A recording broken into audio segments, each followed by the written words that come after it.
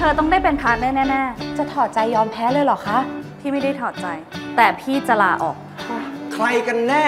ที่เป็นคนฆ่าคุณอรพิมไอ้แจ๊คแจ๊คจำเลยได้พูดขู่ฆ่าผู้ตายไว้ว่า อย่าให้กูรู้ว่ามึงติดต่อกับลูกกูอีก กูฆ่ามึงแน่อีพิมผมว่าหลักฐานมันต้องอยู่แถวนี้